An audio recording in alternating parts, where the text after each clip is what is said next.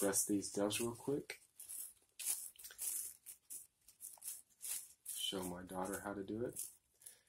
First you want to remove the feathers off the chest. See, there, I got them right there. The crop is pretty full. Crop is what they eat. So, what I want to do, I want to push that crop down like that.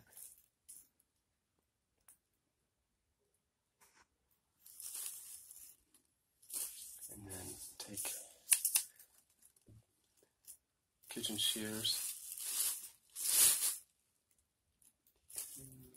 cut it off. That one was full of millet. Full of millet. Next I want to do is expose the breast. What I do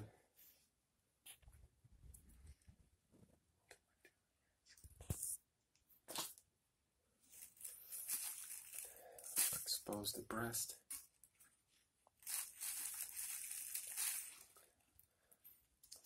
Get the skin like that.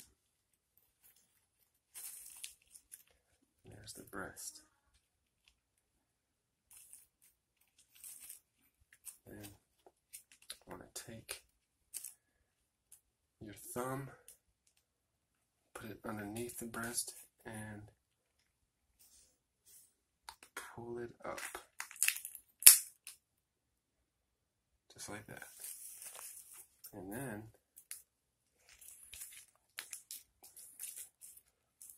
cut it off.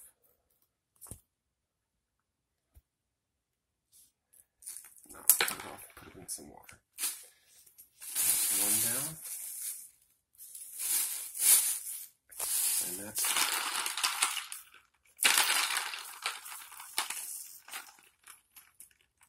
how you breast a dove.